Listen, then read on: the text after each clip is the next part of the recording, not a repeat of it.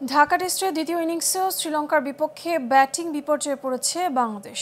চতুর্থ দিনে দ্বিতীয় ইনিংসে ব্যাট করতে নেমে চব্বিশ রান তুলতে সাজ ঘরে ফেরে বাংলাদেশের চার ব্যাটার। এর আগে পাঁচ উইকেটে দুশো পঁচাশি রান নিয়ে দিনের খেলা শুরু করে শ্রীলঙ্কা। এরপর পাঁচশো ছয় রানে শেষ হয় লঙ্কানদের ইনিংস। টেস্ট ক্রিকেটে উনিশতম বারের মতো পাঁচ উইকেট শিকার করেন সাকিব আল হাসান। এছাড়া এবাদত নেন চারটি উইকেট, লঙ্কানদের পক্ষে ম্যাথিউস ও চন্ডিমাল তুলে নেন সেঞ্চুরি। একশো একচল্লিশ রানে পিছিয়ে থেকে ব্যাট করতে নেমে দ্রুত চার উইকেট হারিয়ে বিপদে পড়ে বাংলাদেশ।